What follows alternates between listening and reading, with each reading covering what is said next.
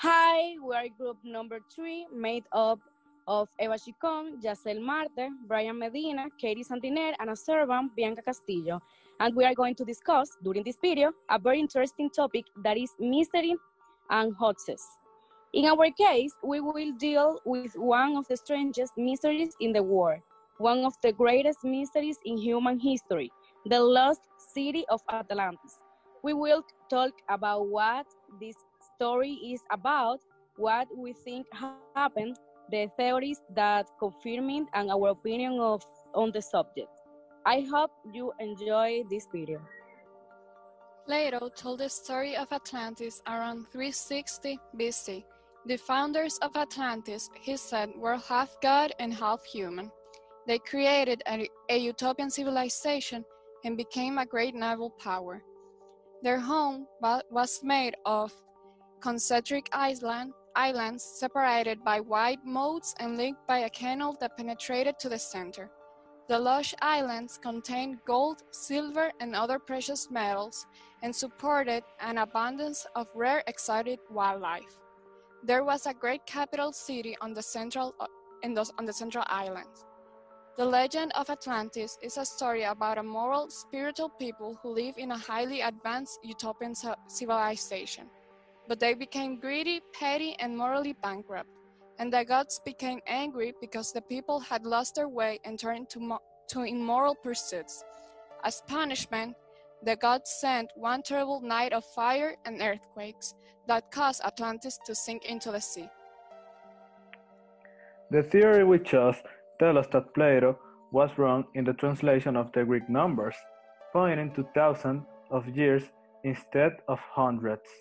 If Plato was really wrong, then both the description of the size and the temporal location of the island showed that this could have been the island of Crete, similar to the crater of Thera.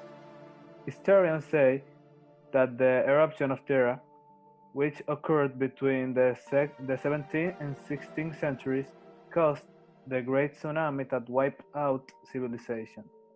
This is where Plato would have been in spirit.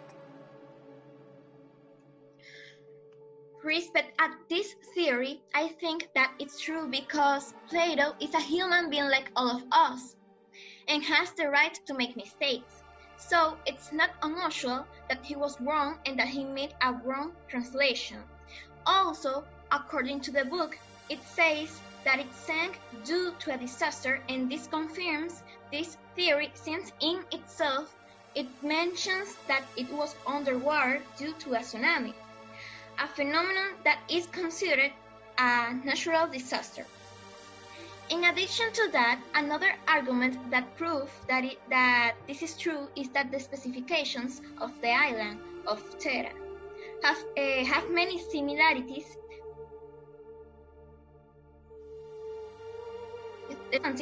So I I do not consider it as a simple coincidence, but rather as a description as such.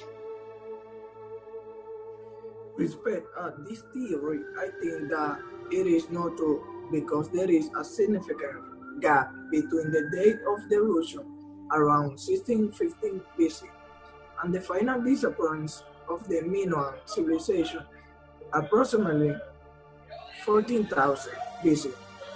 That means that the ocean, earthquakes, offshore, and tsunami did not topple the Minoans. In fact, they started a renaissance in art and architecture after the eruption, building their largest structure and creating their best art.